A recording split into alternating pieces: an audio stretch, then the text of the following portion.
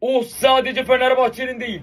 Bu ligin yeni lideri. Ronaldo'nun olduğu takımda herkesi fırça çeker. Maç öncesi avızı çıktığı kadar milli marş söyler. Taraftarın sağ içindeki asi ruhu o kadar bizden biri ki. Maç sonu kutlamalarında güvenlik görevlileri onu taraftarı sanıp yakalamaya çalışıyor. Bir zamanlar dünyanın en iyi stoperleri arasında gösterilen. Prime Juventus'un başyapıtı Leonard Bonucci artık Fenerbahçe'de. Ayrıca bu adamın Türkçe bilmediğini sanıyorsanız yanılıyorsunuz. Turco. Vamos,